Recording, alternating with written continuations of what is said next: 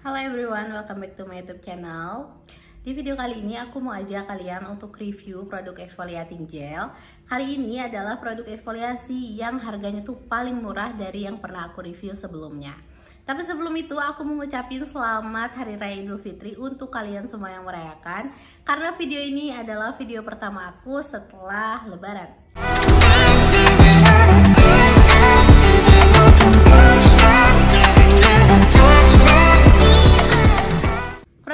aku review ini adalah produk dari Gerpal yang varian Centella Asiatica Exfoliating Gel. Oke, nggak usah banyak babi bu nanidu, kita mulai aja reviewnya.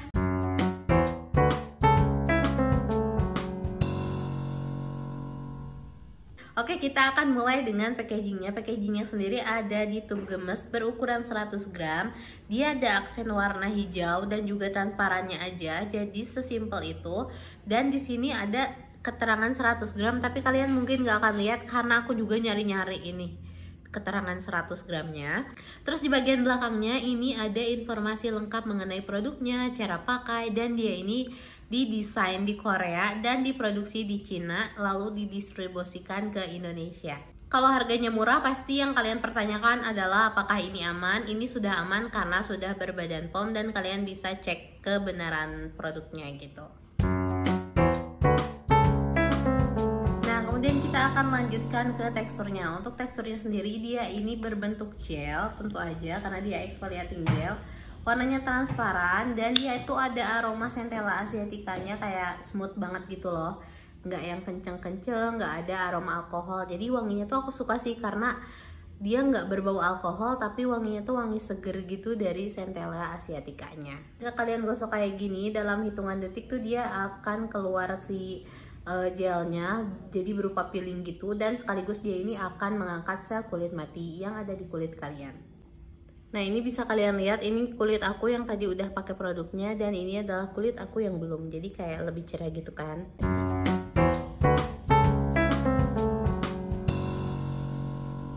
Aku akan pakai produknya ke kalian.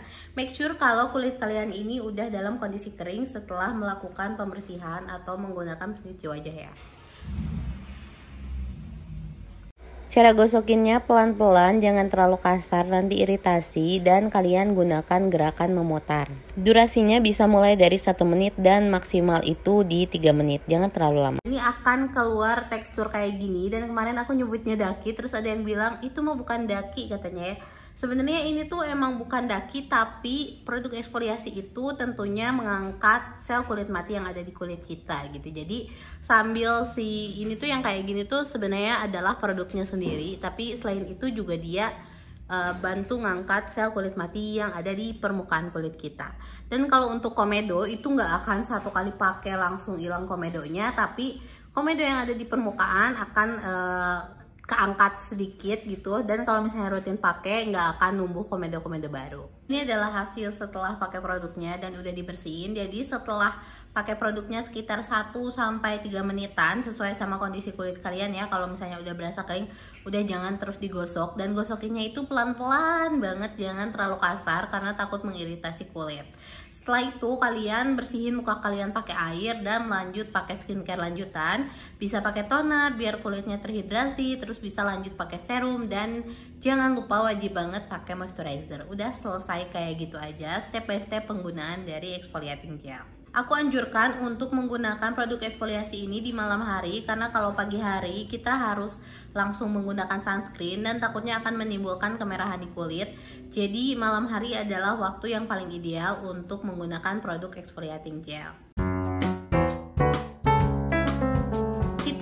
Akan lanjut ke key ingredients yang ada di produk ini. Key ingredientsnya adalah Centella asiatica yang menenangkan, menambah kelembaban, dan menghidrasi. Selain itu juga dia mengandung licorice root yang fungsinya untuk mengangkat sel kulit mati.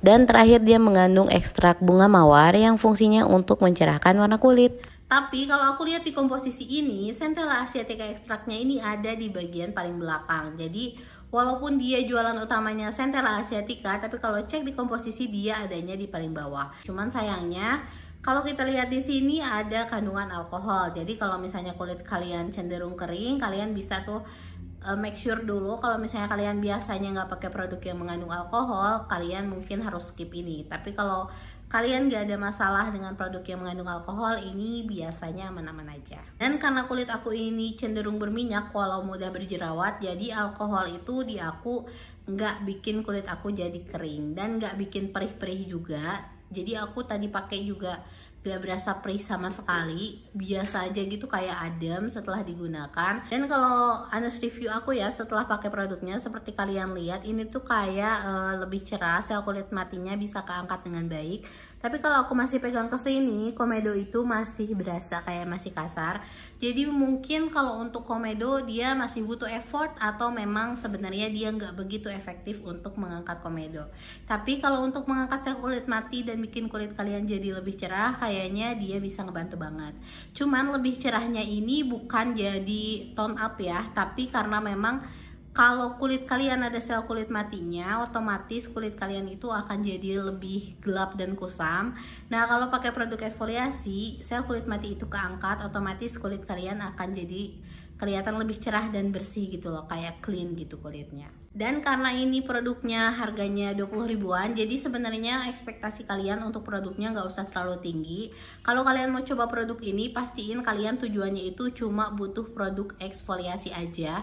Bukan produk yang mencerahkan bukan produk yang uh, ngangkat komedo secara total gitu. Karena dia mungkin bisa kayak gitu tapi butuh waktu lama dan kalau misalnya ada efek kayak kemerahan atau jadi berasa gatal di kulit yang dikasih produk eksfoliasi ini berarti itu tandanya kalian gak cocok ya dengan produk ini. Dan review aku secara keseluruhannya untuk produk ini menurut aku untuk produk eksfoliasi yang harganya cuma 20 ribuan aja ini bisa banget ngebantu untuk mengatasi masalah kulit kusam kalian karena dia bisa mengangkat sel kulit mati dengan baik. Selama menggunakan produknya di kulit aku yang berminyak ini dia nggak menghasilkan jerawat, nggak bikin kulit jadi gatel dan nggak menghasilkan efek-efek apa pun gitu yang menandakan kalau produk ini nggak cocok. Jadi masih oke okay banget untuk produk yang harganya cuma 20 ribuan aja. Buat kalian kalau misalnya mau cobain produk ini kalian bisa klik linknya nanti aku akan taruh di description box atau kalian mau tanya-tanya dulu tentang produknya, efeknya atau cara pakainya biar lebih detail kalian bisa tanyain lagi di kolom komentar dan ya segitu aja review aku untuk Gerpal Centella Asiatica Exfoliating Gel ini Terima kasih untuk yang sudah nonton video ini sampai selesai and see you in the next video. Bye-bye.